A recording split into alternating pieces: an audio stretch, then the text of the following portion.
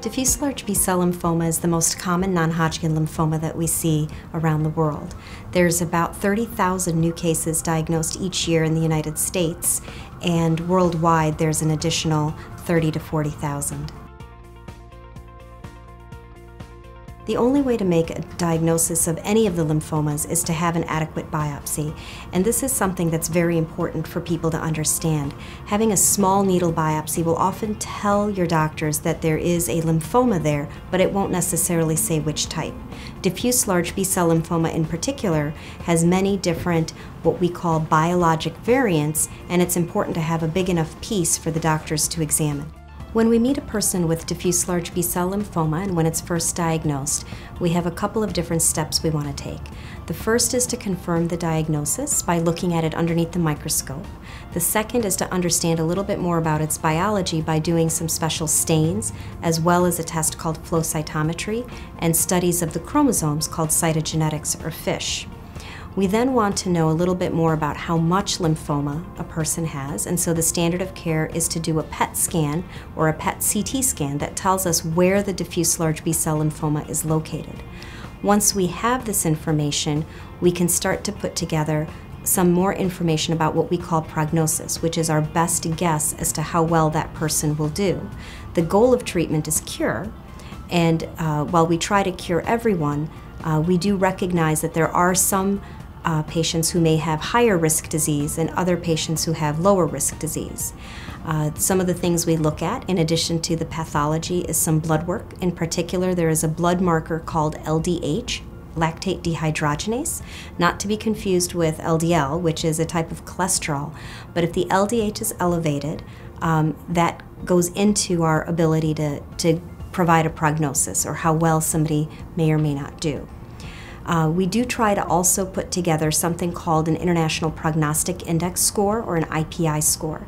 And this takes into account five factors that we have available typically once we're done with our staging evaluation. So this includes a person's age if they're over 60, something called performance status, which is a reflection of how much the lymphoma has debilitated somebody or not. We look at the LDH value, we look to see if the lymphoma is primarily in lymph nodes or if it's in non-lymph node structures, something we call extranodal, and then we look at the stage. By looking at these five factors, we can calculate this IPI, and again, this is a tool that is useful for uh, physicians to try to assign prognosis or risk to a patient. One thing I do want to emphasize is that using the IPI is really more of a guide. It's not always perfect when you're using it in an individual patient, but it gives an idea of the overall aggressiveness or risk of the disease. One of the most exciting parts of diffuse large B-cell lymphoma is the recognition that there are multiple disease types hiding within that one diagnosis. So in other words, when we look at this particular lymphoma underneath the microscope, there are genetic changes and other factors that we can't see even with our best microscopes. And so new tools that have been developed include something called gene expression profiling, or what's even more exciting and useful on more types of tissue, something called nanostring.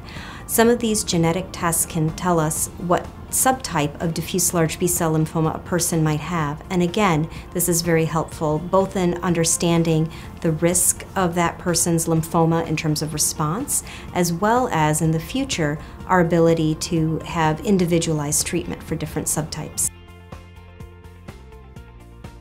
All diffuse large B-cell lymphomas are blood cancers, and therefore the treatment for diffuse large B-cell lymphoma is chemotherapy. The current standard of care is to have two main ingredients, something called an anthracycline, uh, and something called immunotherapy.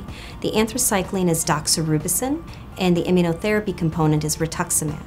When we think about treating diffuse large B-cell lymphoma, the, the, most common combination that we use and the standard of care for most patients is a combination of five drugs called R-CHOP, R-C-H-O-P. For some lymphomas that have high risk features, or for a particular type of diffuse large B cell lymphoma that occurs primarily in the mediastinum, which is the middle part of the chest, we will often use a more intense type of chemotherapy that includes both that anthracycline as well as the immunotherapy, something such as dose adjusted EPOCH R. So, diffuse large B cell lymphoma, the goal when we first meet people is cure, and we use the R-CHOP or other more intense treatment combinations to try to get there. However, not everybody is cured with our treatment the first time around, and when it comes back, we have several different options.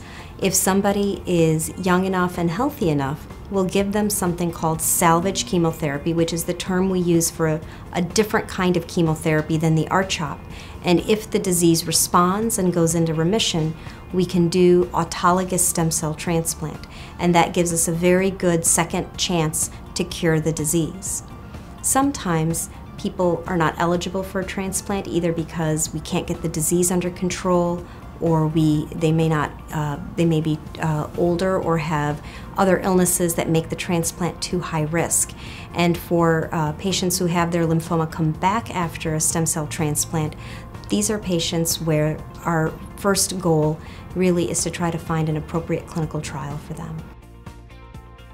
This is an incredible time when it comes to new drugs. There's a number of different agents that are being developed and that are available in the lymphoma pipeline. Some of these are monoclonal antibodies that may be stronger than rituximab or perhaps work in a slightly different way. Some of these antibodies are linked to almost like a Trojan horse delivery of some type of toxin.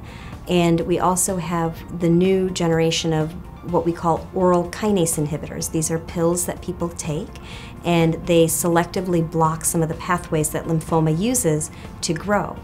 Uh, not all of these kinase inhibitors work in all different types of diffuse large B cell lymphoma, and so what we're really trying to work on through clinical trials is finding the best drugs for the, or the right drugs for the right patient, and then also developing some combinations.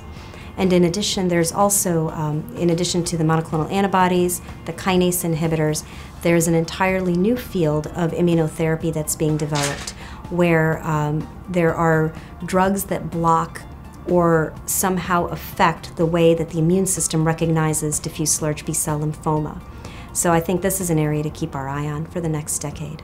For diffuse large B cell lymphoma, it's natural to want to try to find combinations. These are very complicated lymphomas, they're very aggressive, and I think it makes sense to use different drugs that work in different ways so that we can try to get a better remission, a deeper remission, and a longer remission.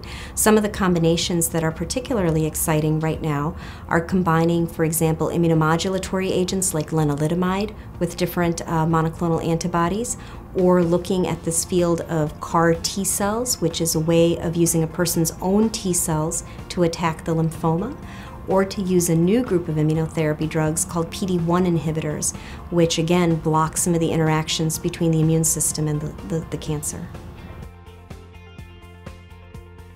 I think anybody with a diagnosis of diffuse large B-cell lymphoma or any lymphoma is very well served by the Lymphoma Research Foundation. There's a tremendous number of resources available to patients, both in terms of support and education, and really a community. And I think that altogether, Lymphoma Research Foundation offers empowerment to patients so they understand more about their disease and can learn to cope with it.